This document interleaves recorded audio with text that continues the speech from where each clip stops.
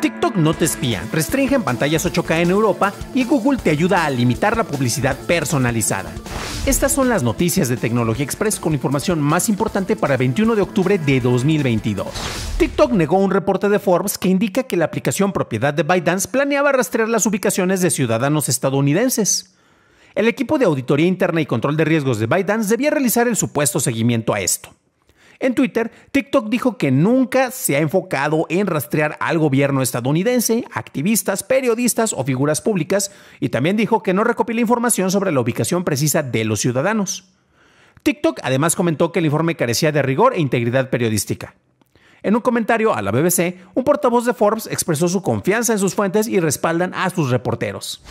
La Unión Europea planea establecer lineamientos más estrictos para el consumo de energía de televisiones para el 1 de marzo de 2023. Con esto se busca que los productos de mayor consumo no se vean en el país, como es el caso de pantallas 8K. La asociación 8K comentó que el consumo de energía impone límites tan bajos que ninguno de sus dispositivos sería aprobado. Estas medidas serán revisadas para finales de año, por lo que estas limitantes podrían cambiar. Un equipo de investigadores encabezado por Todd Humphrey logró desarrollar un sistema con el que los satélites de Starlink se pueden utilizar para un nuevo esquema de rastreo y navegación más preciso que el GPS. El equipo de laboratorio de radionavegación de la Universidad de Texas en Austin adquirió una terminal Starlink, la cual usó para transmitir videos en alta definición desde YouTube sin interrupción. Esto generó una fuente constante de señales de Starlink, las cuales eran monitoreadas por una antena cercana. Humphrey entonces descubrió que Starlink usa una tecnología de multiplexación por división de frecuencia ortogonal para codificar sus transmisiones. Con esto buscaron secuencias de sincronización y encontraron que estas mostraban información sobre la distancia y velocidad del satélite transmisor. Con esta información se puede hacer un rastreo preciso con un rango de 30 metros de distancia. Google anunció un incremento en el plan familiar de YouTube Premium, el cual pasará de los $17.99 a los $22.99 dólares al mes o $29.99 si se adquiere a través del App Store de Apple. YouTube Premium te ofrecerá el contenido de la plataforma sin publicidad y el plan familiar permite hasta 6 cuentas.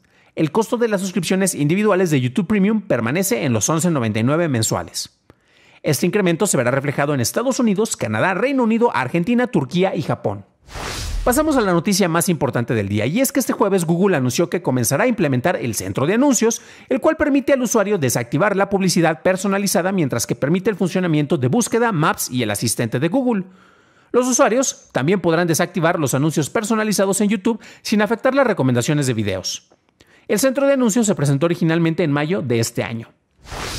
Esas fueron las noticias y ahora pasamos al análisis. Pero antes de hacerlo, déjanos una calificación, por favor, de 5 estrellas en Apple Podcast o en Spotify o un like en YouTube que no te cuesta nada. La publicidad es un mal necesario. Muchos dicen odiar los comerciales o la manera en que los anuncios se presentan al navegar en Internet, mostrando ofertas sobre productos que no nos interesan e impidiendo que veamos el contenido que queremos y simplemente se están mostrando como una presencia molesta.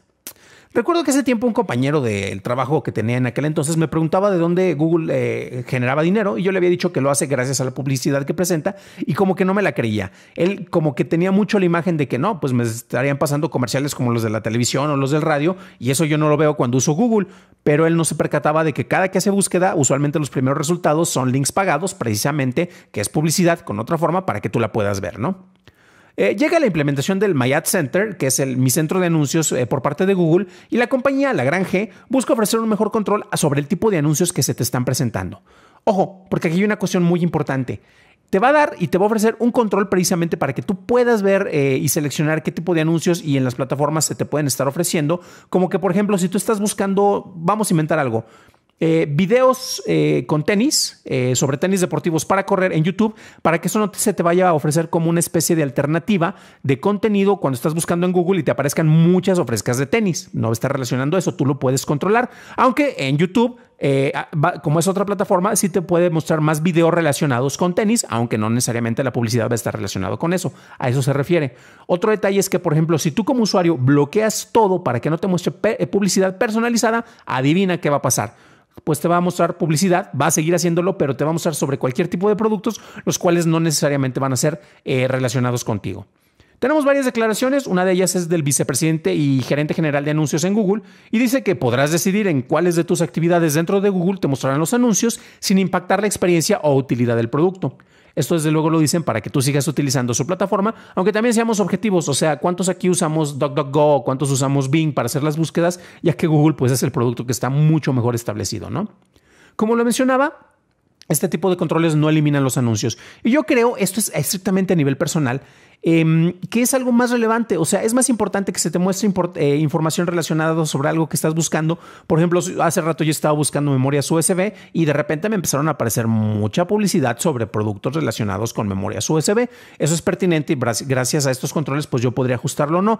Pero de repente si yo todo lo tengo para que me mande publicidad aleatoria, o sea, no publicidad enfocada en mí como usuario, pues resulta que me podría mandar anuncios de leche en polvo y pues eso para mí es más X y para las empresas, para los anunciantes, pues desde luego no es tan conveniente. Cabe destacar que el manejo de la privacidad y el manejo de la publicidad han estado muy presentes en, el imaginario colectivo recientemente. Tenemos empresas, por ejemplo, como Netflix, que ya lanzó sus planes con publicidad. Bueno, ya los anunció y ya prácticamente se van a estrenar a inicios del siguiente mes en México y en Canadá y después en el resto del mundo. Y también tenemos otras empresas como eh, Uber, el cual también te va a estar incluyendo publicidad dentro de la aplicación. Y esto es muy interesante porque uno puede decir que esto es muy, muy, este, muy intrusivo. Están buscando exprimir hasta los últimos centavos posibles, pero demuestra que, bueno, a final de cuentas, en el caso de algunas plataformas, pues necesitas más dinero para que sea sostenible o de repente, pues como cuando pasa cuando vas a una sala de cine y te muestran mucha publicidad a pesar de que ya pagas el costo del boleto, pues tal vez te quieran sacar poquititos centavos más, aunque no necesariamente que tú se los estés dando, sino que los anunciantes son los que van a estar colaborando en este caso, ¿no? Pero, por ejemplo, en el caso de Uber, un ejemplo que yo ponía.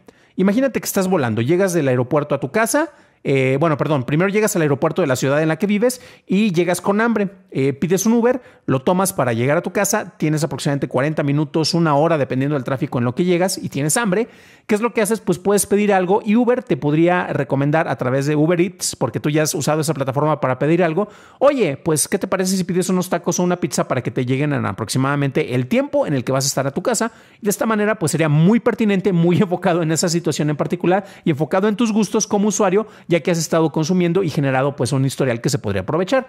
Esa es publicidad pertinente y yo creo que honestamente eso es mucho más benéfico a la publicidad aleatoria que se te puede presentar y que se sigue utilizando en distintos medios. La publicidad direccionada es más eficiente que aquella lanzada en general, como lo mencionaba, y para nosotros como usuarios nos es más conveniente ver un anuncio de un producto que nos puede interesar, ya que la posibilidad de la compra es mucho mayor. Y si no queremos ver anuncios, bueno, esto es honestamente bastante irreal, ya que estos son un mal necesario.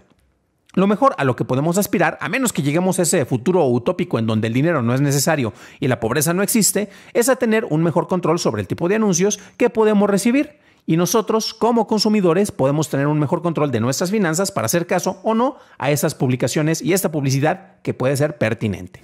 Para un análisis más a detalle en inglés, visita dailytechnewshow.com en donde encontrarás notas y ligas de interés. Y si quieres saber más sobre otras implementaciones de publicidad en servicios web, revisa nuestro episodio 228 en donde hablamos sobre el lanzamiento del plan barato de Netflix con publicidad. Eso es todo por hoy, gracias por tu atención y nos estaremos escuchando en el siguiente programa. Deseo que tengas un fantástico fin de semana.